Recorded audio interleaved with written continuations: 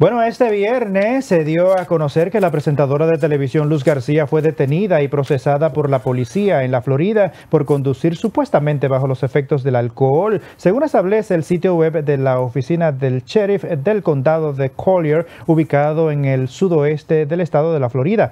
A esto la comunicadora respondió a través de un video que circula en plataformas de mensajería. Vamos a escucharla.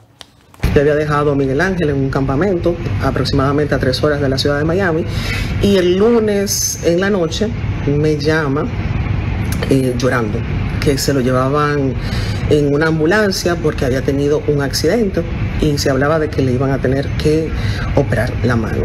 Yo me levanté del lugar donde estaba cenando y inmediatamente tomé carretera a eso de una hora y media en carretera, me pararon por velocidad y evidentemente fui detenida. El próximo 2 de agosto eh, tengo que ir a la corte donde me impondrán una multa o servicio comunitario. Bueno, Luz García ya se encuentra en la República Dominicana.